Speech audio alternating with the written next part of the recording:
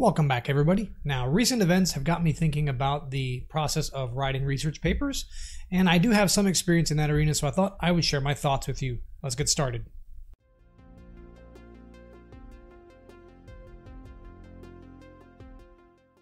So, of course, full disclosure, I am a physicist by training. I have a PhD in condensed matter. I published several papers in that arena, two first author and three uh, co-author, second or third author on on at least one of them. So I've done a fair amount of heavy lifting on two of the papers and acted as a kind of lab monkey as well as proofreader on the other three. Now, I'm going to talk in the context of deep learning research papers because there really isn't a whole lot of difference aside from the content between writing physics papers and writing deep learning research papers, at least based on what I've read so far. So, of course, another caveat here is that if you are a graduate student or undergraduate student in a research laboratory, then you should always follow the advice of your principal investigator. You can take what I have to say as something to think about, noodle on it, and perhaps think about how it fits into the philosophy of your lab with publishing papers. But you don't want to, you know, cause any friction with your advisor, so always follow their lead on writing papers. Now, all of that out of the way, let's talk about some of the most important aspects of the papers, and they may surprise you. Uh, one of the most important aspects of the paper is the title. Yes, the title is in fact critically important, and the reason is that the title is effectively marketing. The title is what people are going to read, the headline, and it will determine whether or not they want to read the rest of the paper. So the title must be something that is kind of catchy. It must speak to what the paper is about, and it must do so in a succinct way that draws the eye. So I'm going to talk a little bit about my research uh, as an undergraduate student, or sorry, as a graduate student, so that you can get an idea for how the process of crafting a good headline would work. So in two of the papers, we dealt with something called spin torque nano oscillators. This is a fancy term. Uh, it, it's actually a fancy technology. I don't want to downplay it, but the basic idea is that you have a layered multi-structure at the nanoscale, say 100 nanometers long by 50 nanometers wide. They're pillar shaped. You pass a current through one layer. That layer is magnetized. That causes a spin polarization. That uh, current, spin polarized current, then goes through to a second layer that has a free roaming magnetization.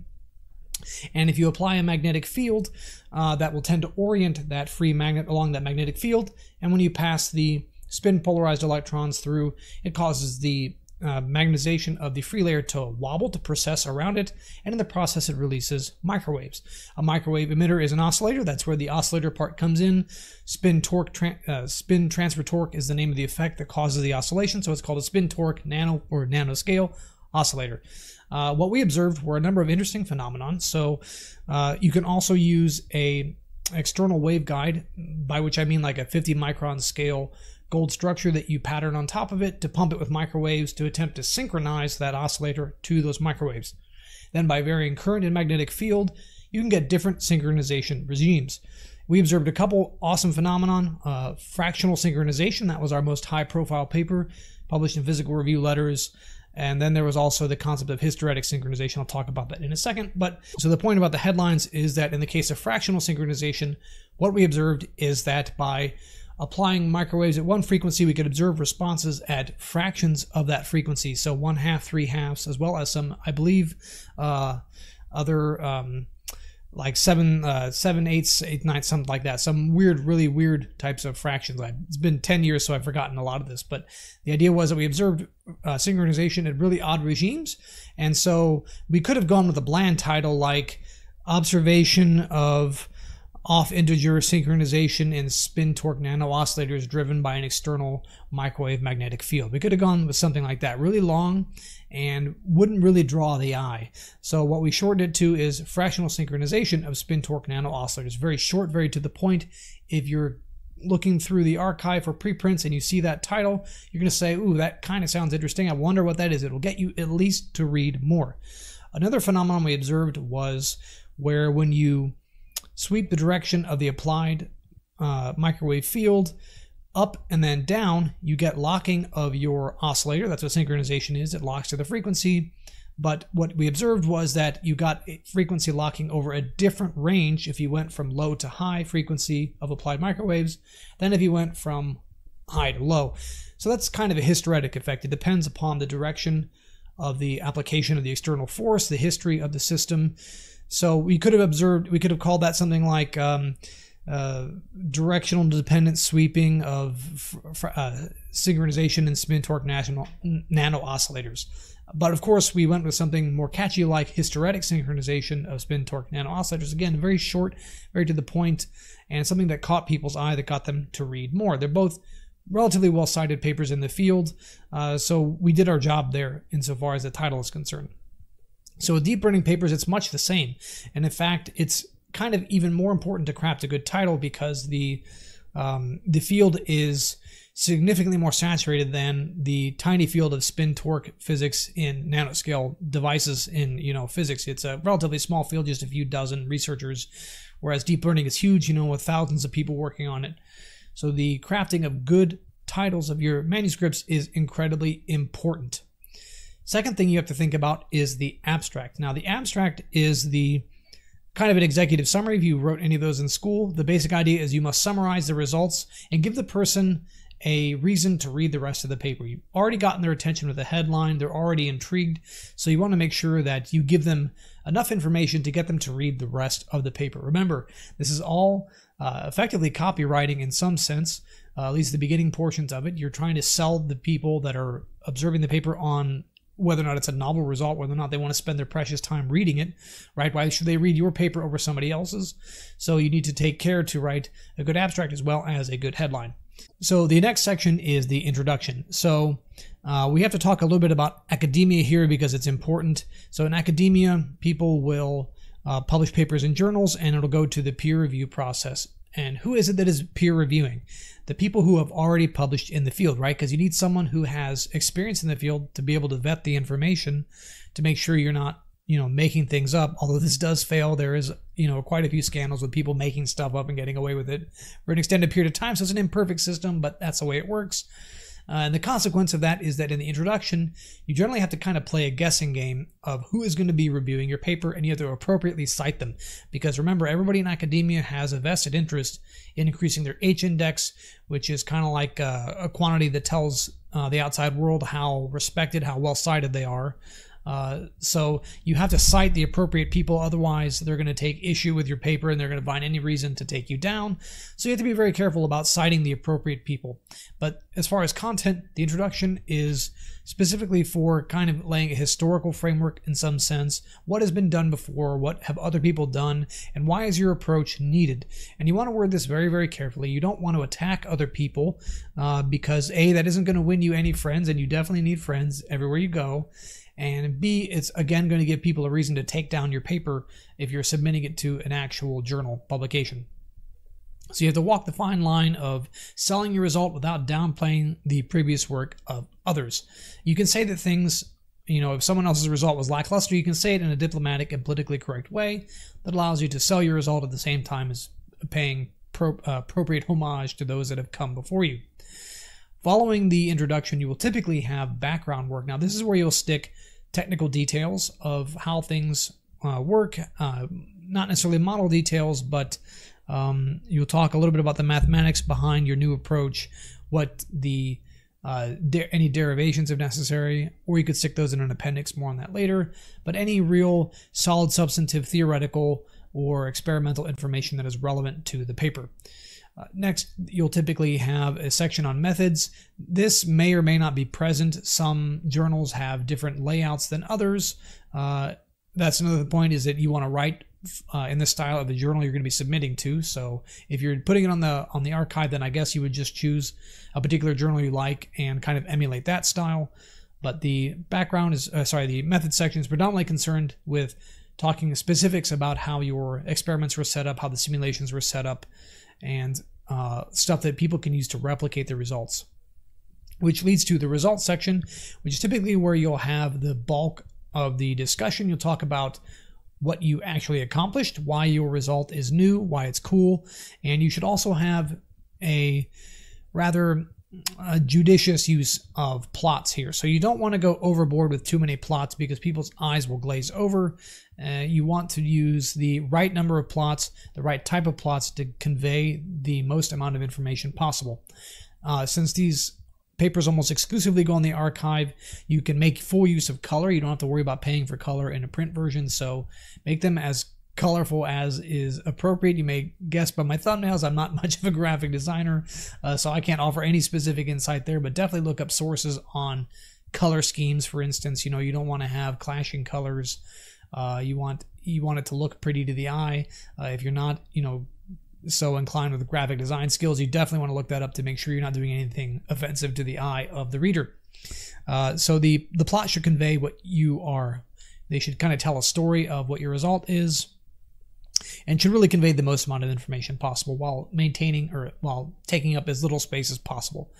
Finally, you'll come to a section on uh, the conclusion, and that really just ties things together. That's not a huge, uh, hugely important section, uh, but if you have fruitful discussions with other collaborators that aren't listed as authors on the paper, that is the appropriate place to thank them as well as to disclose any financial funding.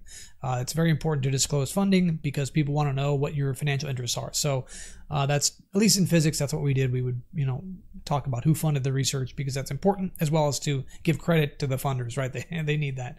So uh, that is the basic structure. You have a headline, an abstract, an introduction, background, methodology and results and conclusion. Very, very straightforward. Now you can also have appendices. So appendices is where you would put mathematical derivations if you have them, as well as maybe a longer discussion of the algorithm that you're implementing. Uh, if the algorithm is short, you can stick it in the methodology section. If it is a little bit longer, then perhaps put some more detail in the appendix. You'd also put things like hyperparameters in an appendix if you don't include them in the uh, methodology section. You want to include as much information as possible to help other people replicate your results. Uh, I've noticed with some of the DeepMind papers on Q-learning, they leave out some important details about initialization of weights of layers. Uh, so they, you know, they give you enough information to kind of get started, but not really replicate the results. And that's because they don't want you scooping their results and you know one upping them because other everybody else is going to read the paper and be in competition to produce you know better results. So you don't want to give them too much of a head start. You know you give them enough information to start but not enough to really overtake you. So other principles that i adhere to in writing a paper and this may be somewhat contentious uh, but i believe in the maximization of information density. And what this means in practical terms is that every single word you use every preposition every every pronoun, every everything should have a very specific purpose and function in the paper.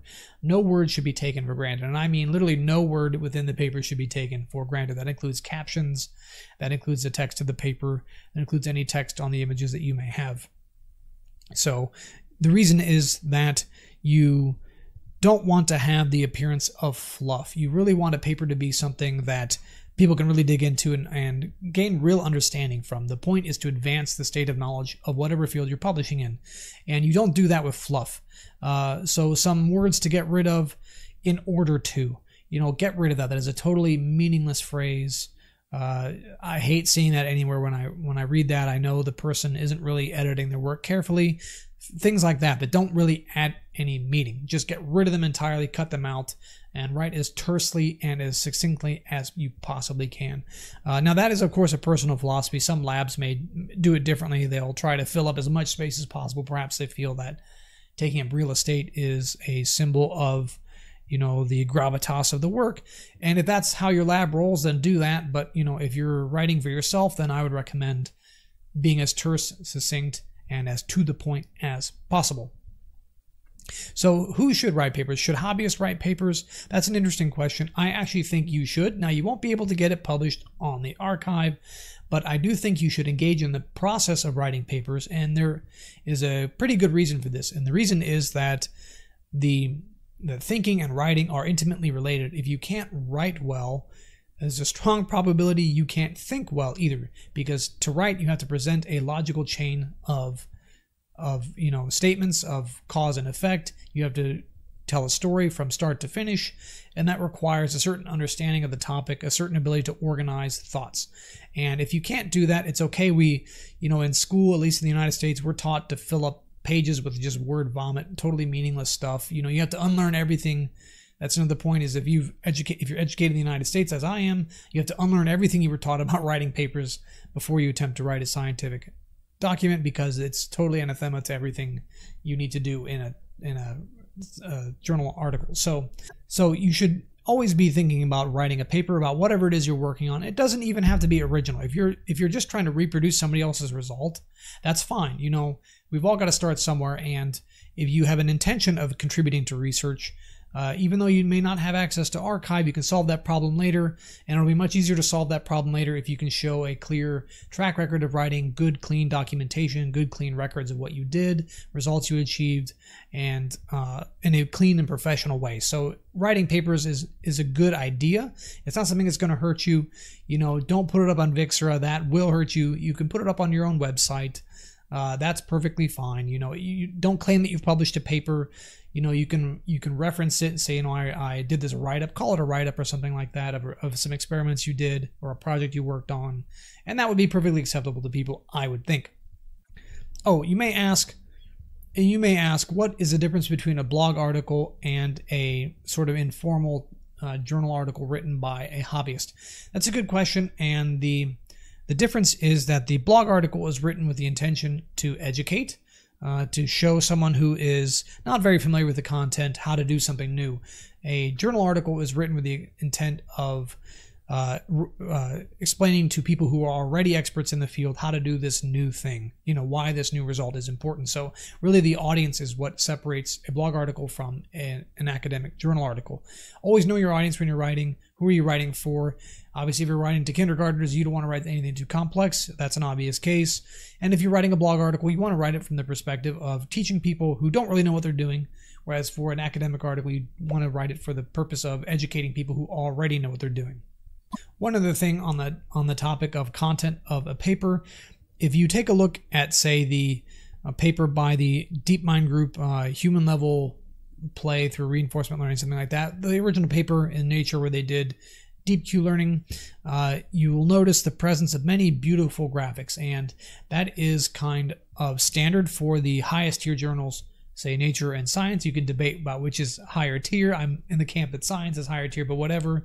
I wouldn't gripe about being published either which i'm not but you know they're both really good. But the common thread is that you'll have very high tier graphics and the reason is that you want to uh, you want to sell the result and you know we're visual creatures so having a pretty picture in there will really do justice to your work another reason it's important to consider doing pretty graphics for your papers even if you're not doing a submission to a high tier journal, you want to consider the fact that if you're doing a new architecture, it may be difficult for people to visualize. And so having a clear, clean, beautiful graphic can really help to A, sell the result, and B, help people read the paper and visualize what it is you are trying to do. So those are my thoughts on publishing papers in deep learning. Of course, with the caveat that I'm a physicist by training, not a computer science guy. Not a, although I did have a little bit of computer science coursework. You know, I'm not strictly speaking a computer science person or a deep learning person. I'm just an enthusiast, a hobbyist, a physicist turned machine learning engineer is how I think of myself. Uh, and I think you'll find that if you read enough papers, most of what I've said is factually correct, uh, at least with respect to the layout of the papers and, of course, where I couch my specific philosophy on how to write papers. That's just my specific philosophy. Some people adhere to it, some people do not. Uh, that you can take or leave, and certainly always defer to the standards and uh, practices of whatever research group you're working with. You don't want to go against the grain there. That will be a losing battle, and you stand to gain nothing. So I hope that was helpful for you. Uh, make sure to smash that like button, hit the subscribe, hit the bell icon, because I know only 14% of you get my notifications, and I'll see you in the next video.